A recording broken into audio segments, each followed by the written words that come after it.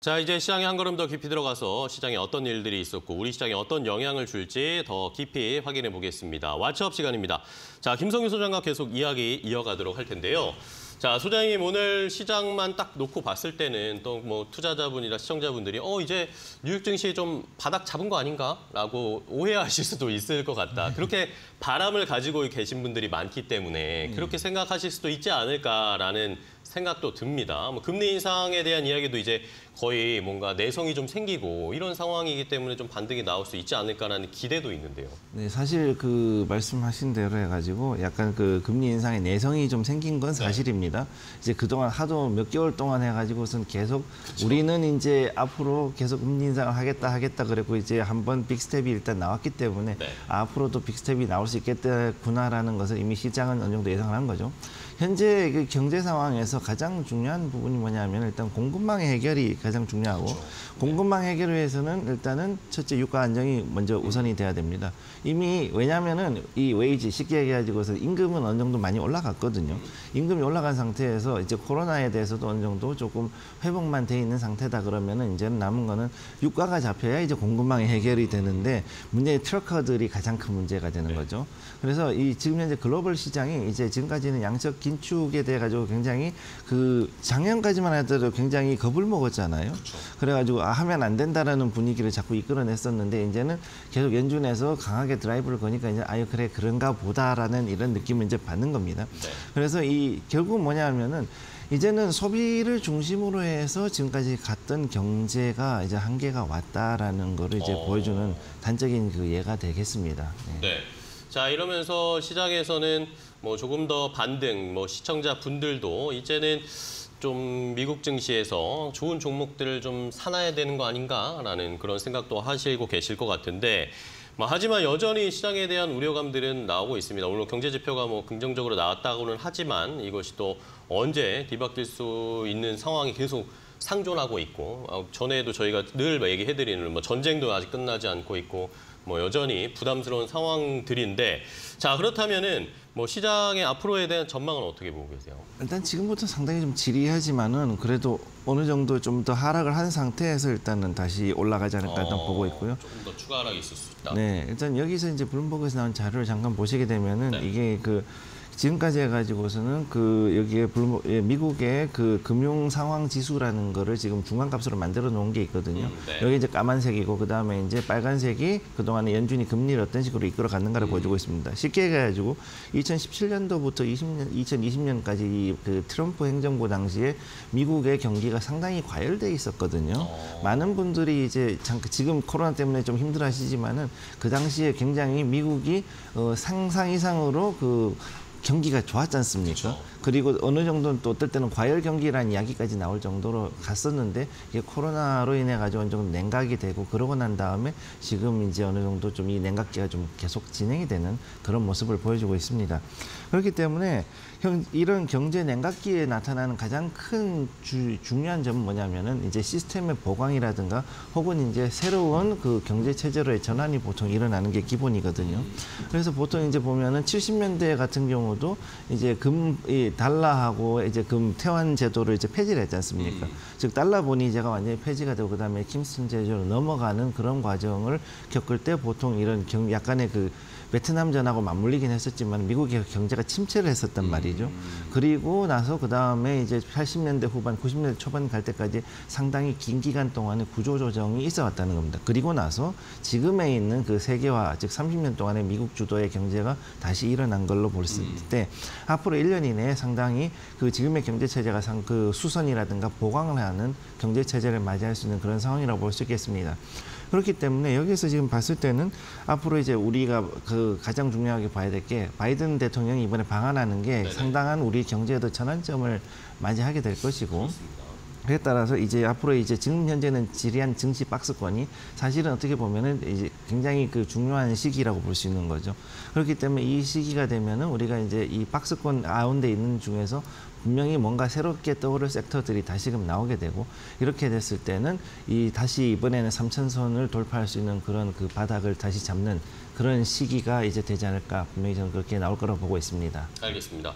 자, 어쨌든 뭐 시장의 상황 자체가 뭐 우리나라 시장뿐만 아니라 전 세계 글로벌 이 경제 이 세력들의 이 재편이 좀 일어나고 있는 상황이고 미국 시장이 미국이 그동안 계속 경제를 이끌어왔던 전 세계 시장에서 뭔가 지금 변화를 맞이하고 있는 상황이고 뭐 중국과의 관계도 그렇고 여러 가지 이 변곡점들에 와 있는 상황이다라는 것을 김성규 소장님께서 좀 강조를 해 주셨는데 자 그렇다면은 마지막으로 바이든 대통령이 이번 주에 좀 방한을 하는데 우리가 또 어떤 점들을 좀 살펴봐야 될까요? 뭐 바이든 대통령이 뭐 오자마자 삼성전자에 간다 뭐 이런 이야기들도 있습니다. 네, 사실 지금 그러니까 미국 같은 경우는 우리가 지금 몰라서 그런데 생각보다 마이크론이 굉장히 많은 그 매출을 내고 있거든요. 네.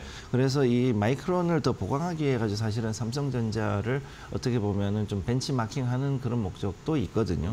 그리고 또 지금 현재 그 굉장히 많은 자금을 들여가지고 미국에도 지금 삼성전자 공, 반도체 공장을 지금 만들고 있는 상황이니까 그럼 여기에서 봤을 때 그럼 미국은 일단 반도체하고 그 다음에 전기차, 그 다음에 이차 전지를 기반으로 해서 새로운 어떤 그 경제의 전환을 좀 이루려고 한다는 걸 일단 우리가 알 수 있는 거죠. 그럼 여기에 맞춰서 그럼 우리는 어떤 식으로 경제를 재편하고 거기에 맞춰 섹터를 바꿀 것이냐를 이제 좀 더 고민해야 되는 그런 시기에 왔다고 볼 수 있습니다. 알겠습니다.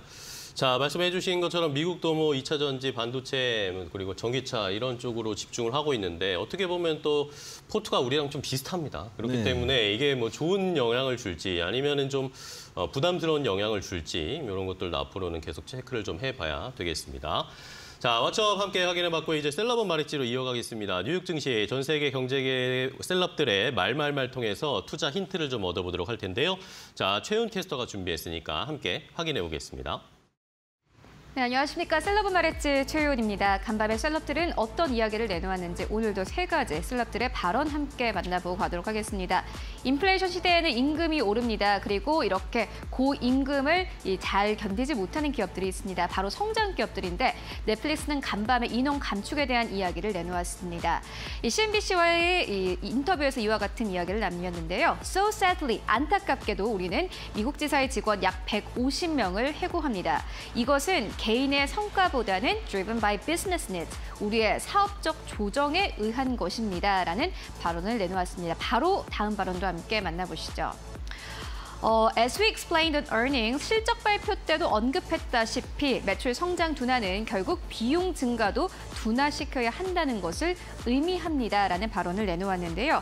일단 최근에 넷플릭스는 실적을 발표를 했습니다. 10년 만에 처음으로 가입자 감소를 발표를 했고 주가는 이 1년 이번 해 초 대비해서 70%가 넘게 내린 상황입니다. 최근에 애플도 새로운 인력을 뽑지 않겠다라고 발표를 한 바 있고 로빈후드도 마찬가지로 최근에 인력을 감축한 바 있는데요. 이렇게 이 성장 기업들이 계속해서 인력을 감축하는 것은 어떤 의미일지 스튜디오 연결해서 들어보고 가도록 하겠습니다. 네, 첫 번째 이야기는 넷플릭스 이야기입니다. 넷플릭스가 실적 발표를 할 때 가입자 수 감소에 대한 이런 걱정스러운 시선이 굉장히 큰 상황이었는데 자, 직원을 좀 정리했다라는 이야기까지 나왔습니다. 어떻게 보고 계세요? 어, 지금 봤을 때 상당히 이제 그, 그동안에 어, 많은 기대감, 정확히 얘기해서 넷플릭스에 대해 가지고서는 많은 그 분들이 생각했던 그런 그 어떤 기대감이 있지 않습니까? 그 value가 이제 완전히 이제 많이 무너졌어요. 어. 그런 상황이다 보니까 지금 여기에서 인원 감축은 당연한 수순이라고 보고 있고 그럼에도 불구하고 나쁘지 않은 것이 이런 플랫폼 기업들은 직원을 조금만 줄이더라도 상당히 그 큰 효과를 보기 때문에 그런 부분에 있어서 나쁘지 않다고 보고 있습니다. 지금 현재 차트를 제가 잠깐 보시, 보여드리 보시면은 이 차트 내에서 보시면 이제 넷플릭스 같은 경우는 지금 갭이 크게 지금 두 번이 나왔거든요. 그럼 이렇게까지 내려오고 했을 때 지금 이제 거의 뭐 한, 한 6, 7년 전 처음에 상장하고 한 2, 3년 전에 그 당시 가격으로 이제 거의 온 모습을 지금 보여주는 거죠. 네. 그렇기 때문에 여기에서 잡아가지고서 반등이 이렇게 이 자리에서 지금 들어왔으니까 그렇다 그러면 생각보다 나쁘지 않은 자리가 될 것이라고 보고 있고 그렇기 때문에 지금 지금 굉장히 이제 저평가돼 있고 상당히 이 자리에서 횡보를 오래 하겠지만은 결국 이제 올라갈 준비는 어느 정도 하지 않을까 저는 일단 그렇게 보고 있습니다. 알겠습니다. 일단은 뭐 넷플릭스가 새로운 성장 동력이나 뭔가 새로운 것들을 보여주지 않으면 올라가긴 쉽지는 않겠지만 일단은 기술적으로 봤을 때는 넷플릭스는 좀 바닥은 잡은 것 같다라는 평가를 해주셨으니까 넷플릭스의 앞으로의 흐름 잘 살펴보시기 바랍니다. 자, 다음 또 셀럽의 이야기 확인해 볼까요? 최현 캐스터 전해주세요. 네, 지난해 뉴욕 증시에서는 이 중국 기업들의 주가가 굉장히 부진했습니다. 하지만 다시 한번 분위기가 조금 반전되는 듯한 분위기인데요. 예, 중국의 부총리입니다. 류허 부총리가 이 어제 이와 같은 이야기를 남겼습니다. 예, 중국의 한 회의에서 이러한 이야기를 남겼는데 중국은 시장과 정부 간의 관계를 앞으로 적절히 관리하고자 합니다. 중국이 핵심 기술을 위해 잘 싸우길 바랍니다. 라면서 지금까지와는 조금 다른 스탠스를 취했습니다. 다른 다음 밤도 함께 만나보고 가시죠. 네, 정부는 기술 기업들의 발전과 주식 시장의 상장, public listings를 지원할 것입니다 라는 발언을 내놓았는데요. 네, 최근에 중국의 엔트그룹은 IPO를 취소한 바 있습니다. 하지만 이러한 발언이 나오자마자 이 JP 모건 측에서는 중국 기업들에 대한 투자 의견을 상향 조정했습니다. 비중 축소에서 비중 확대로까지 투자 의견을 상향 조정했는데요. 이러한 발언들과 또 중국 이 정부의 이 결정이 과연 우리 주식 시장에도 훈풍을 가져다 줄지 함께 스튜디오 연결해서 들어보고 가도록 하겠습니다. 자, 다음은 류어 부 총리의 이야기였는데 그동안 뭐 중국 쪽에서 최근 뭐 근 1, 2년 사이에 중국의 기술 기업들을 엄청 압박하는 양상들이 나타났습니다. 저는 사실 보면서 잘 이해가 되지 않았는데 네. 이제는 뭔가 다시 스탠스를 바꾸려고 하는 걸까요? 주가의 반등도 좀 기대할 수 있을까요? 일단 지금 상태에서 어느 정도 좀 조정을 받았지 않습니까? 네. 특히 이제 그 코로나 때문에 상당히 큰 그 조정을 좀 받은 상태인데 지금 상태에서 어느 정도는 어 이제 바닥을 잡은 상태에서 다시 반등을 시키기에 제일 좋은 게 역시 기술주거든요. 그렇죠. 그런데 지금 이제 그 금융에 대해 가지고 현재 풀어주는 정책을 중국 당국이 하고 있기 때문에 여기에 따라서 결국은 이제 대규모의 자금이 기술주들에 유입이 되게 되면 앞으로도 생각보다는 상당히 그 나쁘지 않은 그런 모습을 보여줄 거라고 보고 있습니다. 그렇기 때문에 지금 여기에서 증시라도 반등을 시키지 않으면은 이 경제가 나쁜 걸 어떻게든 커버할 수 있는 방법이 없거든요. 그러니까 이걸 하기 위해서는 어떻게 되느냐 결국은 앞으로 이제는 그 기술주들 좀 더 띄워가지고 기술주를 기반해서 조금 더 버블을 일으켜 보겠다라는 그런 계산이 지금 보인다고 할 수 있겠습니다. 알겠습니다. 자, 중국 쪽의 기술 기업들 뭐 최근에 뭐 찰리 먼거도 알리바바에 투자했다가 주가가 많이 떨어져서 물렸다라는 이야기들도 어, 많이 나오고 있는데 과연 중국 쪽의 스탠스가 좀 달라질 수 있을지 중국 경제에 대한 우려감들이 나오면서 중국 정부에서 부양책이라든지 아니면 이런 기술주들을 다시 주가를 띄울 수 있는 뭔가 정책들이 나올지도 한번 기대를 해보겠습니다. 자, 마지막 셀럽 이야기 확인해 보겠습니다. 마지막 셀럽은 누굴까요? 채용 캐스터.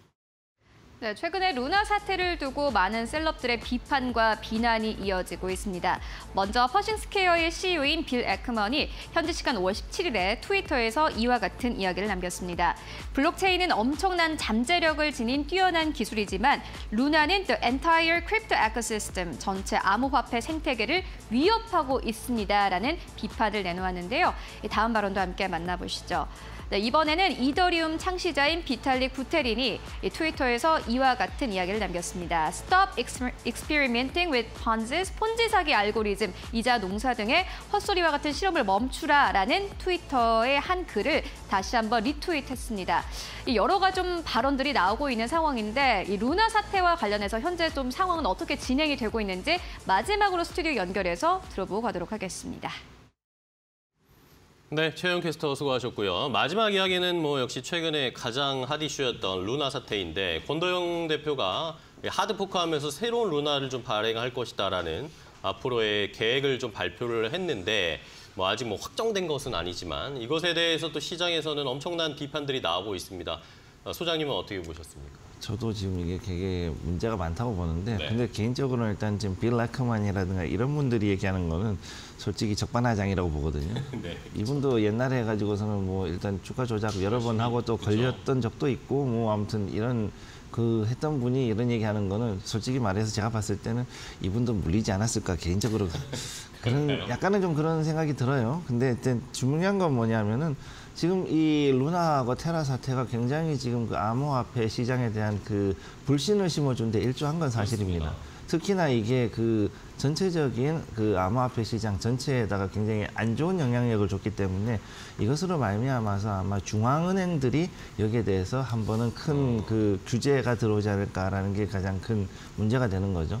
중요한 거는 지금까지 해가지고 중앙은행이 이거는 너희는 민간에서 하는 거니까 놔둘게라고 했다가 이제 이렇게 큰 문제가 일어나니까 이제는 이제는 자기들도 개입을 하겠다는 어떤 명분을 줘버린 거거든요. 그러니까 이제 이렇게 되면은 앞으로 이런 디지털 화폐도 더 이상은 그렇게 활성화되기 어렵고 정말로 큰 몇 가지를 제외하고는 이제 더 이상은 버티기가 힘든 그런 상황이 될 거라고 생각합니다. 알겠습니다.